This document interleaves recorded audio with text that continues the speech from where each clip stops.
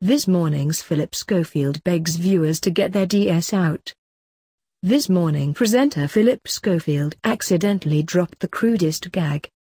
The 55-year-old telly host had his mind in the gutter as he introduced the schedule for today's This Morning. He was just minutes into the first show of the week when he dropped the shocking blunder that fell out of his mouth like word vomit.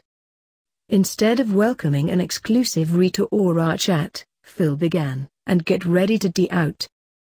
Upon realizing his monumental gaffe, the married dad of two gasped and launched into a rage of nervous laughter. Start as you mean to go on, right? That might be your best yet, replied co-host Holly Willoughby. The 36-year-old asked, what were you saying? Phil tried once again, and this time he managed it. Get ready to dig out your duct tape. Oh man it's a Monday and it's 10.35. Holly couldn't keep a straight face. I'm so glad it's you, that's fantastic. The pair catapulted into a giggle fit and struggled to continue with reading out today's schedule.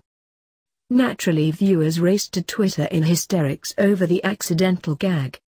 Oh Phil, it's too early. Laughed one. A second cracked up, it's only 10.35 on a Monday morning and Phil has already said doubt. I think we're in for a good week. You just made my Monday brighter with that belting blunder.